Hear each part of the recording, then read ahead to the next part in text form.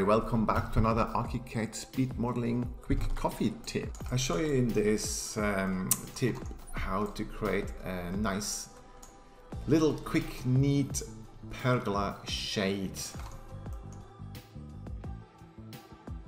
So I start just with a simple spline, got a line here as a reference. Um, the spline I use to show you spline, I started with this tool first, so just simply click around you know, and you finish it off and then to finalize sort of the roundness of it, you can change your tool up here and you can see you get handles. So the handles, I can easily now adjust my spline just like that. Okay, so I want to do this simple shape here.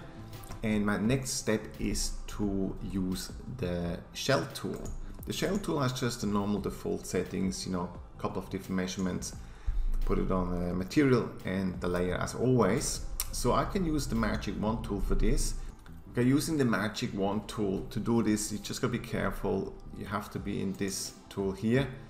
Um, construction method detailed because otherwise see I can now obviously use my um, spacebar if you're not in that one it doesn't work so this one and I like to use the geometry method extruded so let's just space click, maybe make it 300. And there you go, we got our first blade. So have a quick look, that's the blade here. Now, again, if you have watched my tutorials before, it is a little bit, can you see, not smooth enough. And that has to do with the Magic Wand tool settings. So let's do this again. Changing the Magic Wand tool settings. So I've got best match deviation from curve less than 40. But you can also say, oh look, in this case, I want to do linear segments and I go 72. Let's see what that does. Um, there we go. And you know, it's a bit of trial and error sometimes. See, there you go. I'll delete that in a moment. But you see, this is very smooth now. So let's go back and try one more time because I think we can use less for this. Let's do 36 and we do this again. Okay. Yeah, see that's that's pretty nice in 3D, you know. So yeah, I quite like this. Thickness of this we can obviously change. I do that after. So I've got the first blade now and we like to add in between some smaller blades for the shade. So I keep using my shell tool for this. Let's zoom in a bit and I draw my first blade. Actually, what? Let's draw in here to make sure they actually fit in here. There we go.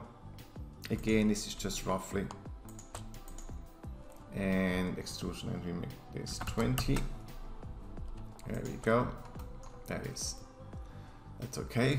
Thickness, obviously another 20. There we go. So let's have a quick look in 3D. So we got this, oops, I gotta move it out for now so you can see this. Alright, so I've got this smaller blade here. And the reason is I used a shell tool is I can rotate the shell tool in elevation or 3D. And you will see in a moment, it's also more handy than a, um, than a morph because I can easily extend this and say, oh, let's make this 40. So it gets thicker so we'll see in a moment, if we have them in between, you can actually adjust them. So I'll leave it at 20 for now. Let's get back to our floor plan. Okay, before I um, multiply this along the shape blade here, I actually like to extend this smaller blade. So let's just drag this over here so I can see it better in my elevation.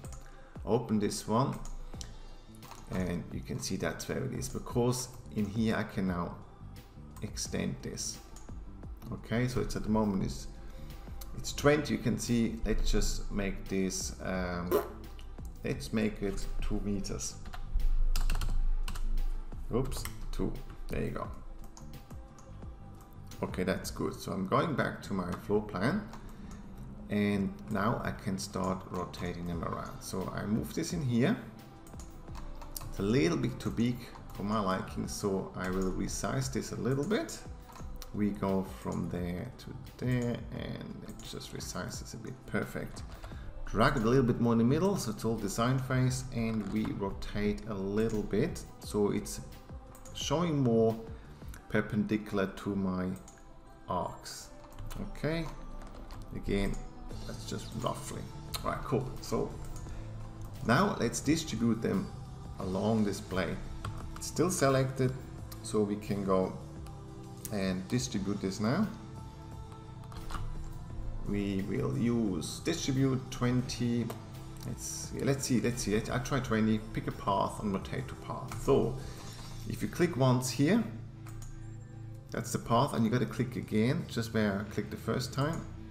Now you can see it goes all the way here. So let, let's do this and have a look yeah you got to be very careful down here. It's going back actually. Yeah, that's very funny. See the path? Is woo! It's going all the way back. Sorry. Getting too excited here. So click there and let's have a quick look how that looks. Okay so that's sort of the shape you got here. I can see this one is too thick. I'll do that in a moment. But I think the blades yeah the blades are actually not too bad what I might do is like I said before it's up to you. You can take those blades see I, I think they're too thick so see that's what I mean with this now. So instead of 20 I can just make them 5 and as you can see they're much thinner now. See if I go back 20 before 5 ah, that looks much nicer. Okay, so as we have this and we're happy with it, you can then rotate the whole thing. Okay, so now obviously we go into this elevation and we open it. There you go.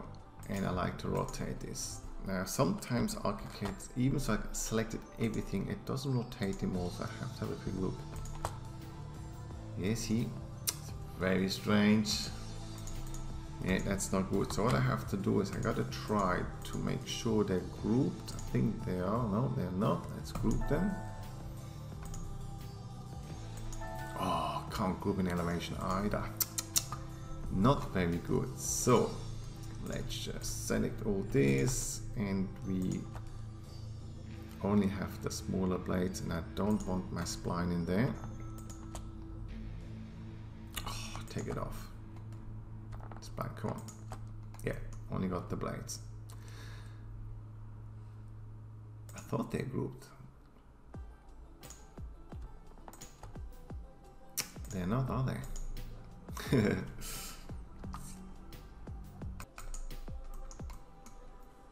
okay, let's group them. Okay, now they group and we just have to try again. Elevation. Alright, open this one, select everything and we try again to rotate. Let's have a look. Yeah that that works much better. And while we are at it let's just move this one down for now to my origin. Okay there you go. So in 3d now you can just normal move around. And like I said this blade is a bit thick so I really want to to um, make that one smaller too. So you just pick that from here.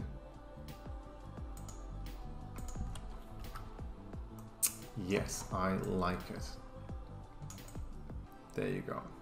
Now what we do is obviously we can do and copy them over, but I like to have different blade, um, how you say it, distances in between. So what I do is, and I should have done this before actually I rotated. So I show you quickly how I deal with this. I um, select this and select this and I copy. Alright great. And now I do a couple of undo steps. This will be exciting. Alright where are we? Uh, yep let's do another undo step there we go. And we go back here. All right, we're back to this. I, I tell you something, this is exciting. So what I do is I just draw, actually just move this over here because I want to use this again. Okay, and now watch this. So I paste this in. Be honest, that's not bad because I needed this back. All right, cool. So next step is because I like to do different ones. Let's just select those blades and remember I had them on five or three. Let's put them on three. Great. Select again actually suspend groups and I deselect this one, delete because now I want to do the same thing again but instead of 20 I do 30. Okay, so a lot more. And that's what will happen after. So we'll have different... Oh, wrong way, wrong way, wrong way. I want to go this way. Sorry about that, I had to zoom. Great, take this and we group that. Great, so what I do is I like to have five different ones. Got two, so I speed that up a bit and do another three.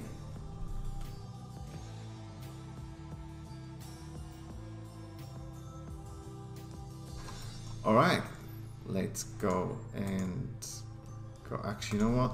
It's easier if I move them a bit. Let's move them a bit up and this one stretch it out a bit so you will see in elevation. It's easier. Ah, there we go. Suspend groups has to be off. Take all this and we rotate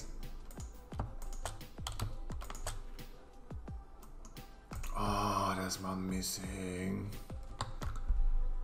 See, this is not funny because ArchiCAD shouldn't do this. Alright, but software, it can happen. So what I do is I zoom in and we rotate around. Let's take that corner. So I think it's a big blade that doesn't want to rotate. There you go. So I just do that extra. Ah, you know what? Because they're not grouped. Fair enough just do them all one by one for now. No big deal. You can see that can happen in your when you do uh, redo the tutorial. Okay, look great, awesome. So back here, that's where we are now. So in this case, let's just group the lot. Should have done this before, but you know what? It's always something you can learn. All right, great. So we start now going. Uh, we take this and I'm just trying to have a look what base to line up. Yeah the corner will line up fine. So let's just line up the corner. There we go. And you just obviously you um, drag this down to there. So let's have a quick look at those two. Beautiful. I did move it down that's cool. Looks kind of cool too, but obviously not what I want. So I'll do that after. So we do the same with those ones. Yeah, beautiful. So elevation. That's where we drag them down now. So let's go down here. Great, and as you can see, I need one more blade at the end there, the big blade. So we just go and actually suspend groups here. I can do this here, I think.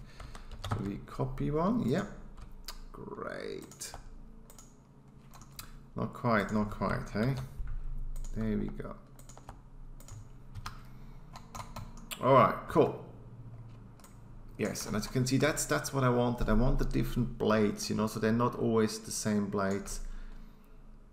Okay, so it's a bit of variety in, in there. Looking good. I just add a quick concrete floor with um, the sides a bit slanted and I'll show you why. Let's just take a slab and we, for now, just draw this here, you know, roughly. Because I have to do this more accurate in here and we open that one there we go. So this one goes up to about there. And actually, you know what? Yeah, I thought so. Elevation, I can't make it smaller. I have to use this one here.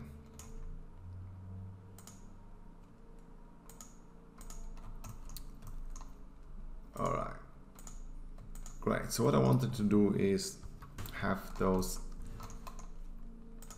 slabs sides a little bit slanted. So what you do is you go in here and you say, okay, we go there and let's make it 60. It's the wrong way around. So we do it. Adding 30 is 120. There you go. See? Beautiful, beautiful. Same on the other side. There we go. And we do 120. Yeah, this looks good now. And maybe the thickness of the slab, we can reduce that a little bit. Again, this is design phase, you know, that's the way we do designing a bit. I think that looks pretty good actually. Look at that. Okay, and remember, because we got those blades built as shells, we can rotate them. That's one reason. And the other reason was, I'll show you quickly again. Let's just uh, select all the shells and we deselect the larger blades. And if you then go up here from 3, let's do that 50. As you can see then suddenly my blades are a lot thicker, so you know, gives me a lot more shade.